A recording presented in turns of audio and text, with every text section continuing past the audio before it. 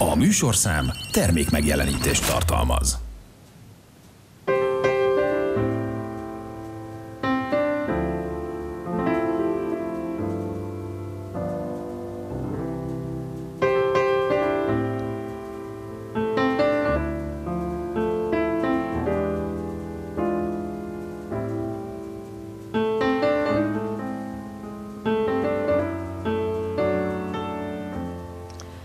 Köszöntöm a Fehérvári Beszélgetések valamennyi nézőjét, ahogy azt már megszokhatták ebben a műsorban, érdekes embereket, emberi sorsokat, vagy embereket mutatunk be eddig nem ismert oldalukról. A héten is ezzel fogunk foglalkozni, vendégeink lesznek a leköszönő képviselők. Sok szeretettel köszöntöm a stúdiónkban Márton Rolandot. Szervusz, köszönöm, hogy elfogadtad a meghívásunkat. Én is köszönöm a meghívást, üdvözlöm a nézőket, és téged is, Viki, úgyhogy örömmel jöttem. Köszönöm, hogy meghívtatok. Már az is egy izgalmas pont, hogy mi általában magázódni szoktunk Igen. a komoly témák mellett, úgyhogy, de természetesen a magánéletben tegeződünk, hiszen gyakorlatilag a 2000-es évek óta dolgozunk együtt. Ezt így most fura kimondani, igen, de, igen, de szerintem a 2000-es évek óta dolgozunk együtt a, a közélet vonatkozásában. Hogyan csöppentél bele a fehérvári közéletbe? De a közélet iránti érdeklődésem az mindig alap volt, tehát engem már a továbbtanulásban motivált az, hogy állam és jogtudományi egyetemre mentem, amiben az államtudomány az számomra majdnem fontosabb volt, mint a, a, a jog. És ezt a tanulmányom során is így gondoltam, ott is az alkotmányi jog érdekelt a legjobban, és akkoriban 94 és 99 között jártam Pécsre egyetemre, akkor az egyetemeken még nem volt tiltott a politizálás, hanem nagyon pesgő közélet volt, az összes akkori pártelnök két havonta avi szinten meghívásnak elegetéve vizitált nálunk, Horn Orbán Viktor, aki már akkor a, 94-99 között főszereplője volt a magyar közéletnek, velük rendszeresen lehetett ilyen 30-40 fős csoporttal beszélgetni, de több országgyűlési képviselő, polgármesterek, a pécsi polgármester Torler László, rendszeresen járt be hozzánk, és ez a közélet iránti érdeklődés az engem akkor nagyon lekötött, motivált. Én akkor gondoltam úgy, hogy én szeretnék egyszer országgyűlési képviselő lenni, csak fogalmam se volt, hogy azt hogyan lehet odáig eljutni. Persze tudtam, hogy választásokon, de az, hogy a, egy párton belül ö, hogyan lehet karriert építeni, ezt erről nem volt fogalmam. És amikor hazakerültem Fejvára, akkor eleve hogy a megélhetésemről kellett gondoskodnom, meg eleve az ügyvédi munka is érdekelt, úgyhogy az ügyvédi irodám felépítésével foglalkoztam, de Varvasoszki Tiamér a város polgármestere, bel, hát baráti viszonyba kerültünk, nagyon sokat segítettem neki, akkor én már 2000 környékén beléptem a Magyar Szocialista Pártba, mert hát demokratikus szocialistaként ez volt az egyetlen, szerintem azóta is az egyetlen hiteles számomra értelmezhető politikai intézmény Magyarországon. Úgyhogy így jött ez a mix, Tihamér, MSP, és akkor hát Fehérváron így kezdtem el politizálni. Mondjuk a családi kapcsolat, az, hogy a bátyád is önkormányzati igen, képviselő volt az Oli, Róla ugye? is meg, mert hát nem csak az, hanem a Tihamérnak ő volt a kampányfőnöke mm. még 98-ban, mikor először győzött, és hát ő is mindig a, a, a Tihamér mellett állt. Nagyon jó barátom mai napig Knizse Gyula, a, a, aki ugyancsak képviselő volt a Városházán, úgyhogy mi így hárman, a bátyám, a, a Gyula együtt mozogtunk, mint fiatal politikusok, és hát Iamérnak sokat segítettünk, és akkor ő kért meg aztán később arra, hogy azért vegyem most ezt komolyabban, és akkor kapcsolódjak be a, be a közéletbe. Így lettem aztán az MSZP elnöke Fehérváron, aztán később képviselő is. Aztán Tihamér meg ugye távozott a, a, a közéletből. Hogyha jól emlékszem, volt is fiatal képviselőként egy plakátok, ami a plakátkampány, ami országos szinten is megmozdította, igen, az igen, a Hello, megismersz, ugye? Igen, hát jól emlékszem? Kicsit megelőztük a korunkat, mert ez már ilyen Instagram, TikTok ö, ö, színvonalú szlogen volt, ami nem tudom, hogy jót tesz a közéletnek, vagy ennyire leegyszerűsödtek a dolgok, de, ilyen, talán. de talán itt Fejváron az volt az első, igen. Ez a friss, fiatal szemlélet mi volt az, ami mondjuk a, a kezdetekben téged motivált, és ö, fiatal politikusként milyen célokat tűztél ki? Ugyanaz motivált akkor is, tehát egy igazságosabb országban szeretnék élni, és ez Magyarországon ez messze van a, a kívánatostól, mindig is ott volt, a 90-es években is, a 2000-es években most szerintem még távolabb vagyunk az elérendő céltól, de az, hogy egy kapitalista országban a nagyvállalatok, a, a, azok meg tudják védeni az érdekeiket, hiszen erőpozícióban vannak. A, az állam, az önkormányzat meg tudja védeni az érdekeiket, mert hát olyan jogszabályt hoz, ami, ami, ami, ami, ami számára kedvező. Akik nem tudják megvédeni az érdekeiket, azok a kis közepes vállalkozások és a bérből fizetésből élők, a nyugdíjasok, a diákok. És én azt gondolom, hogy egy politikusnak, aki a, a, a, a hatalom megszerzésére törekedik, hogy ő hozhassa a jogszabályokat, és ő, ő mondja meg a rendet, annak szerintem demokratikus szocialistaként ő rájuk kell fókuszálni. Úgyhogy mindig azt gondoltam, hogy a, a munkabérek jóval alacsonyabbak Magyarországon, mint amit el lehetne érni, mert hiányzik a béralkú. Ma már ezt nem kell magyarázni senkinek, elég, hogyha nem Ausztriát, hanem Szlovákiát vagy Lengyelországot megnézzük. Nagyon magasak nálunk a lakhatás költségei, ehhez bérlakásokat kéne építeni, de számtalan más kézenfekvő beruházási eszköz van államnak és önkormányzatnak a tarsójában, mivel segíthetni a fiatal magyarokat, a fehérváriakat kiemeltem, de említhetném az egészségügyet vagy az oktatást, ahol, ahol, ahol mindig lehetne előrelépni, de én azt gondolom, hogy a, a feltörekvő bérből és fizetésből élő fiataloknak a legfontosabb lenne egy korrekt bérszínvonalnak a, a biztosítása, a béralkut elérni minden évben, és a lakhatási segítségnyújtás. Ha szűkebb körben nézem, Fehérváron ez a két legégető probléma. Azt látom, hogy a Fehérvár iparát is a nagyvállalati szektor uralja. Ők szerintem kartellezik a fehérvári munkabéreket, már, nem csak Budapesten, de Győrben, Tatabányán, Komáromban, tehát a, a, a közvetlen régióban. versenytársú régión belül is Hát Győrben, Komáromban, Tatabányán szerintem legalább 20-25 százalékkal magasabbak a bérek, Budapesten 50 százalékkal. Ugyanazokban a pozíciókban, mint Fehérváron, és az úgy működik, hogy az itt megtelepült multinacionális nagyvállalatok menedzsmentjei éves szinten egyeztetnek arról, hogy mennyi béremelés, meg hogyan alakuljon a bérezés, és ez kartellezés, azt nem lehet szebben mondani. Erre egy válasz lehetne, hogy a, a munkavállalók is valamennyire megszervezik maguknak, ennek a jogszabályi környezete Magyarországon nem adott, ezért javaslom mindig, hogy az önkormányzatnak egy ilyen szakszerveti referenssel, infrastruktúra biztosításával segítenie kéne a fejvári munkavállalókat abban, hogy az érdekeiket érvényesítsék a fejvári munkaerőpiacon. Mennyiben más a helyi és az országos politika, hiszen azért mind a kettőre van rálátásod? Más a tétje, tehát ö, ö, szerintem országosan mindig is áldász küzdelem volt, ennek van hagyománya Magyarországon. Így volt ez 94-ben, 98, 2002, 2006, 2000 és azóta is. Ugye akkor indul be az országon a, a, az igazi kampány, mikor az országgyűlési képviselő választásokon a kormány sorsáról döntenek a választók. Önkormányzati szinten én mindig megkapom, hogy hát milyen rendes ellenzékiek vagyunk, mi hát itt fel sokszor a hangunkat. Igazából ha aztán elmagyarázom, hogyha megnézi a, egy, egy-egy közgyűlés napirendjét, azért ott nehéz vitatkozni, hogy most akkor felújítsuk ezt a járdát, vagy ne újítsuk fel, vagy ö, számtalan olyan infrastruktúrálás, beruházás van, ami egyszerűen szükség van rá, sorra került, döntünk róla.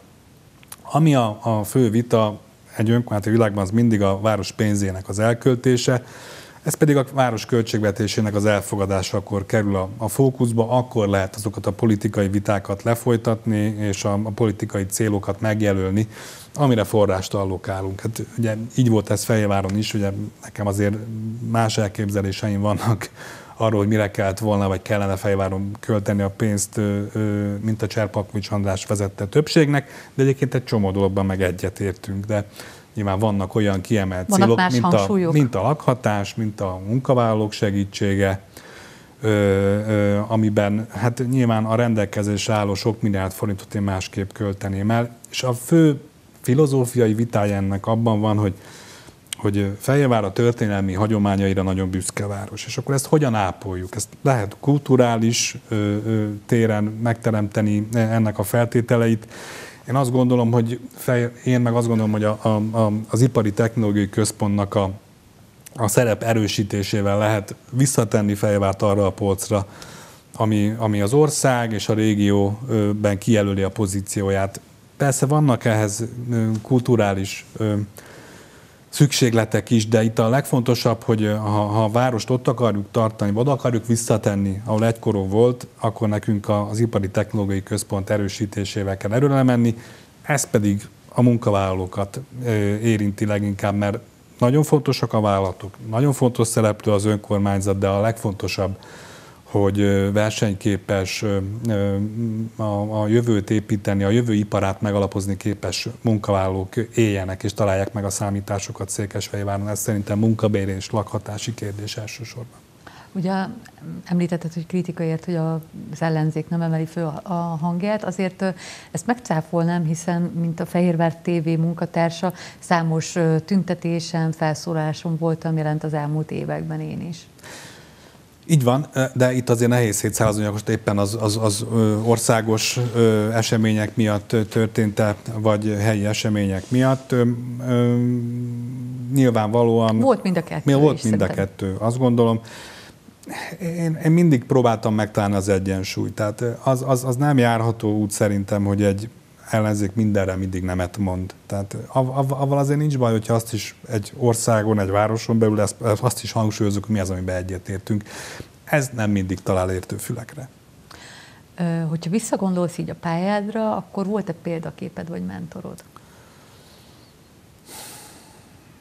Hát ez, ez egy jó kérdés. Én, én Tihamért sok, sokáig annak tekintettem egyébként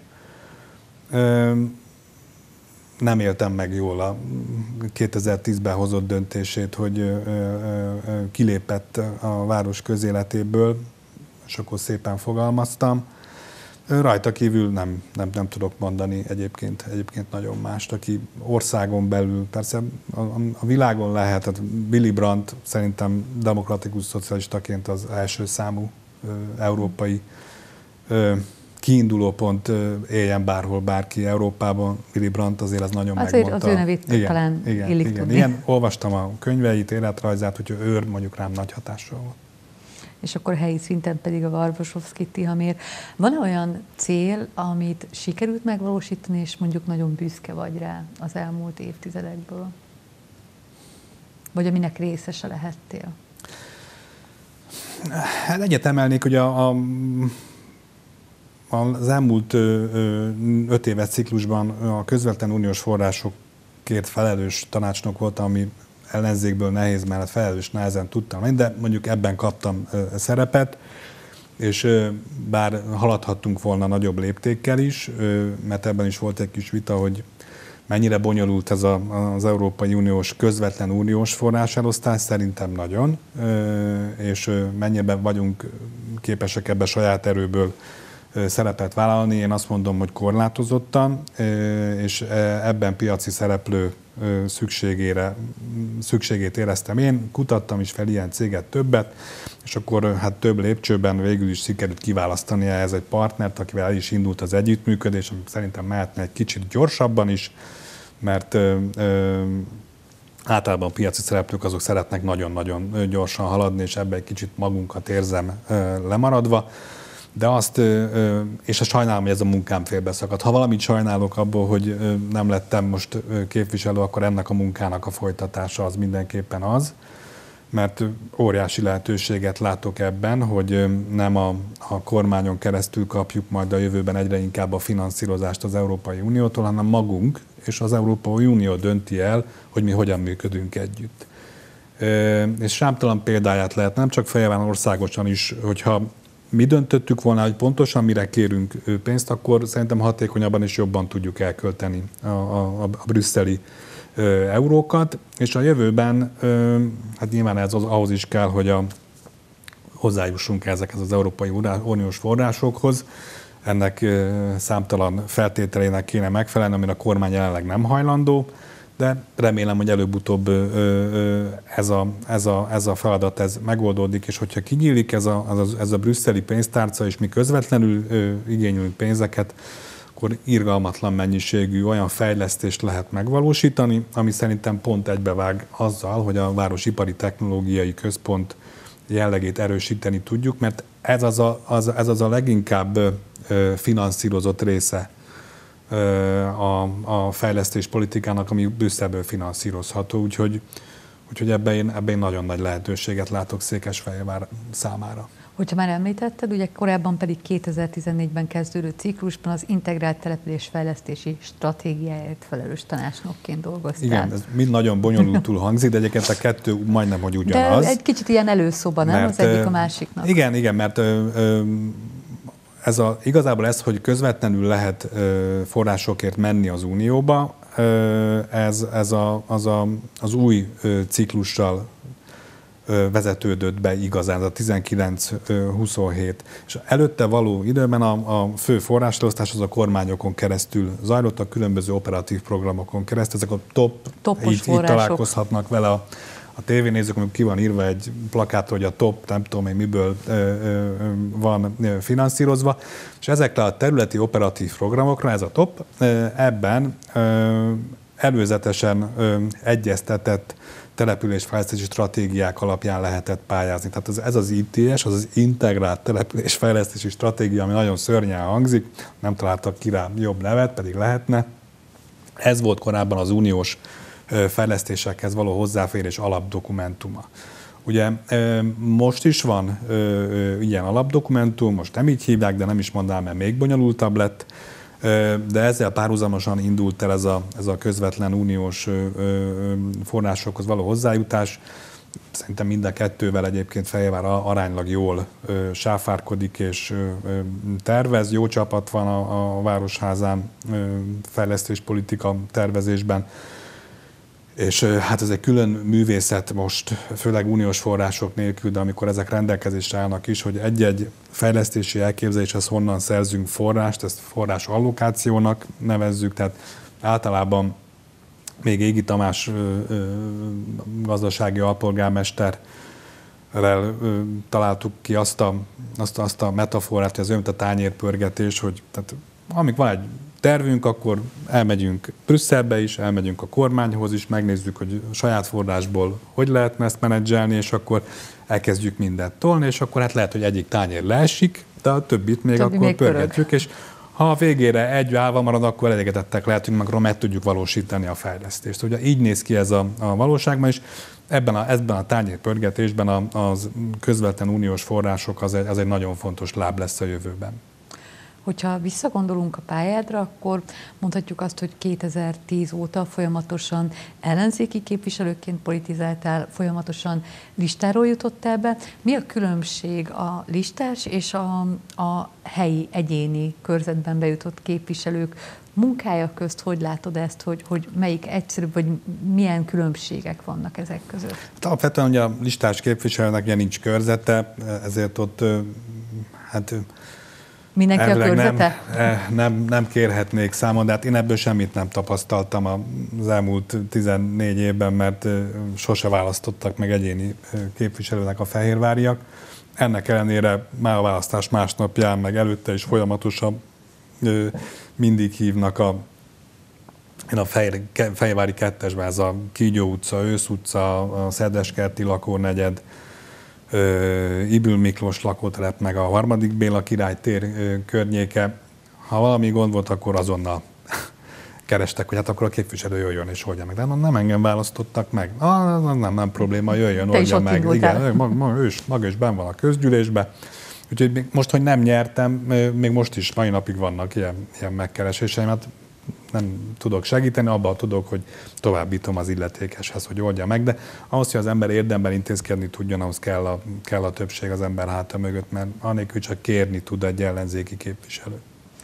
Az alakuló közgyűlésen is ott voltunk, nyilván azért teljesen nem távolodsz el a fehérvári közélettől, hiszen ott is bizottsági külsős tagként dolgozol majd tovább. Melyik bizottságban, és mi lesz a munkád? Nyilván kimondottan szerettem volna, hogyha már lehetett választani, hogy a stratégiai bizottságba kerüljek be, mert a mindennapi döntéshozatal mellett a, működik a közgyűlés mellett egy stratégiai bizottság, ami a, a, a jövő fejlesztésével foglalkozik, azok a napirendek kerülnek be hozzá, amelyek ezzel a témával kapcsolatba hozhatóak, úgyhogy én azt gondolom, hogy ez, ez számomra a közgyűlési munkából mindig az volt, az érdekelt a legjobban, hogy milyen lesz Fehérvár 5 vagy 10 év múlva, úgyhogy ezért örülök neki, hogy abba a bizottságba kerültem. Amikor egyeztettünk a mai beszélgetésről, akkor kértem tőled valamit, hogy hozzál el olyan dolgot, vagy dolgokat, amik a számodra fontosak, vagy fontos. Hát hoztál is egy tárgyat magaddal. Igen, mert kaptam az alkalmat, és a metszóllómat hoztam el, ugye, mert számomra a kikapcsolódás az mindig valami természet közeli tevékenységet jelent, horgászom is, de hát Pecabotot nem terveztem hozni a TV stúdió, mondtam, hogy a kedvenc tárgyaimat, tehát ott is van egy-kettő pecabotom, ami nagyon szeretem, de a kertészkedésben ez a kedvenc tárgyam, ez egy felkó metszóló egyébként, nem tudom, szabad a reklámot mondani, nem annak szántam, ez, egy, ez a metszólók Rolls Royce, úgy kaptam a páromtól pár éve karácsonyra, nagyon elégedett vagyok vele, és a a gyümölcsfáimat ezzel az ollóval alakítom minden évben kétszer is. És Tudományos hát, alapon? Abszolút. Én a, Mert én nem, tehát nagyon, én formára vágok mindent. Igen, egyébként az is jó irány. A meccéssel ugye a, a különböző kívánalmainak megfelelően tudjuk alakítani a gyümölcsfákat. Sokan mondják, hogy nem kell metszeni, szerintem kell főleg, főleg kiskertekben, ahol a kertbe illeszkedő méretre tudjuk nevelni a fáinkat, illetőleg a, a gyümölcs minősége szempontjából sem mindegy, hogy mennyi napfényt kap, mennyire járja át a levegő, és akkor nem kell permetezni, mert nem kap el különböző betegségeket, úgyhogy ez a korona alakító meccés az egy Egyébként nagyon nehéz, mert utána kell olvasni, és mindig előre kell gondolkozni, hogy két-három év van milyen fát szeretnék, azt akkor úgy, úgy kell metszeni. Én nagyon élvezem a, a kertészkedés minden formáját, de a metszés a kedvencem, úgyhogy ha kertészkedés, akkor a metszőolló a, a kedvenc szerszámom, úgyhogy nagy becsben tartom meg kicsit kopott is, úgyhogy látszik, hogy használva van.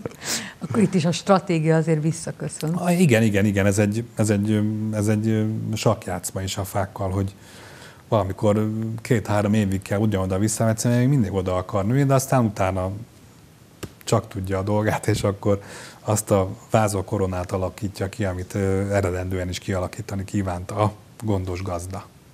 Téged mindig is lokálpatriótaként ismerhettek a fehérváriak. Hogyan folytatod most a jövőt? Én ügyvédként dolgozom, volt, amikor szüneteltettem a tevékenységemet a politika miatt, az országgyűlési választásokat megelőzően, de a Távirda utca közepén van az irodám, mm, igyekszem, igyekszem jól teljesíteni, hogy mindenkit várok szeretettel, akinek valamilyen ingatlannal vagy kereskedelmi jogi ügylettel van problémája, akkor várom az ügyvédirodában. Most jelenleg ez tölti ki az időm nagy részét, ha éppen nem tudok kertészkedni, akkor dolgozom. Vagy inkább fordítva. Ha, ha nem dolgozom, akkor, akkor kertészkedni. Igen, igen. Én nagyon szépen köszönöm, hogy elfogadtad a meghívásunkat. Én köszönöm a meghívást, Viki. Köszönöm, hogy itt voltál, nézőinknek pedig köszönöm a figyelmet, fehérvári beszélgetésekkel természetesen holnap is várjuk Önöket.